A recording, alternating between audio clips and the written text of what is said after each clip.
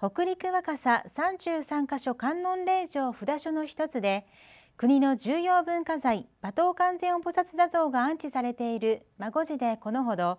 夏休み恒例の寺子屋体験修行が行われ参加した子どもたちが度胸や座禅を体験しました。本鉱山孫寺の寺子屋体験修行は子どもたちに寺ならではの体験をしてもらおうと13年前から毎年行われています。今年の体験には町内をはじめ大井町などから親子ら15人が参加しはじめに町の有形文化財に指定されている旧観音堂の清掃を行いました。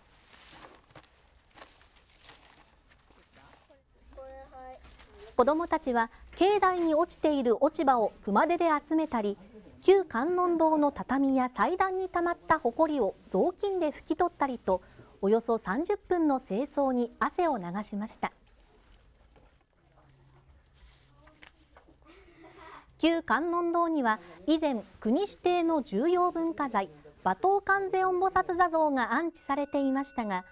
2002年に新しい観音堂に移され現在は毎月1日にごま祈祷が行われていますこの後子どもたちはきれいになったお堂で般若心経の度胸に挑戦しました般若心経は260の文字で書かれた仏教の真髄が説かれた経典で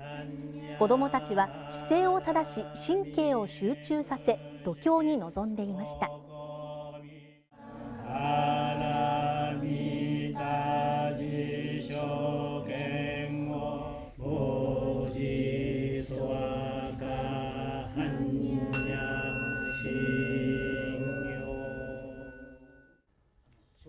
この後杉本龍神住職が孫寺の名前の由来などについて話しました。